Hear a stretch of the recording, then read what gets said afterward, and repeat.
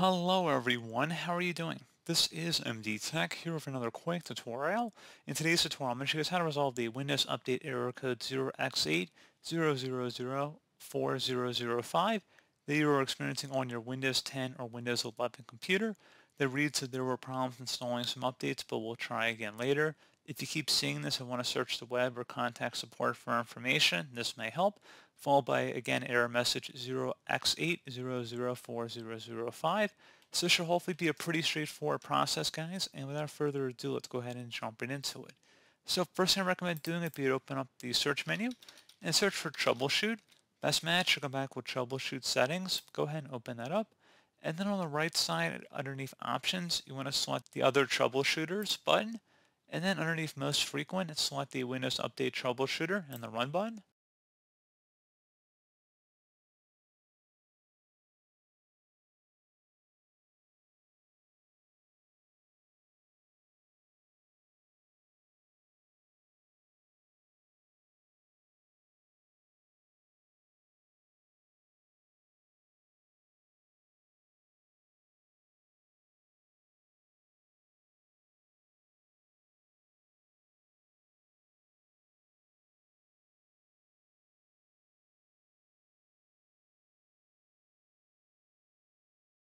And if it's able to detect and repair anything, hopefully that should be able to hopefully troubleshoot the problem you're having.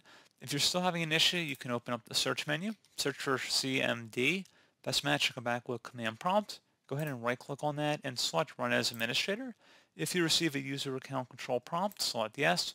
And now I will have a couple commands in the description of my video. Go ahead and copy the first one. It's a system file checker utility and then go up the top bar of the command prompt window here, right click on it, select edit and paste it in.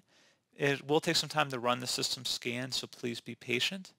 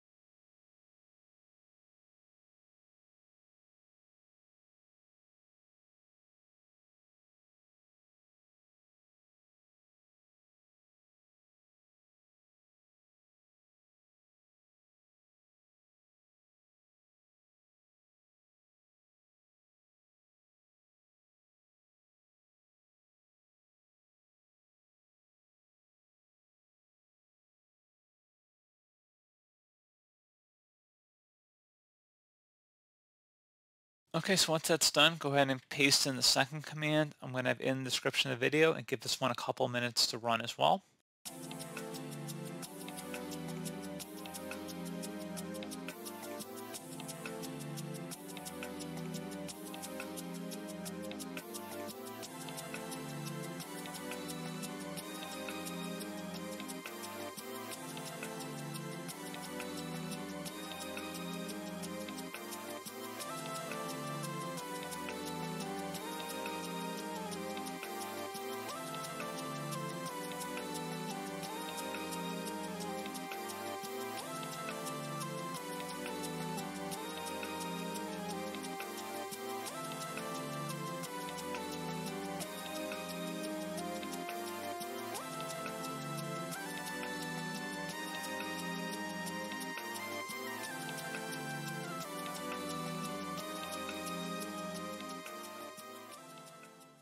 Okay, so once that's done, go ahead and close out of here and then restart your computer.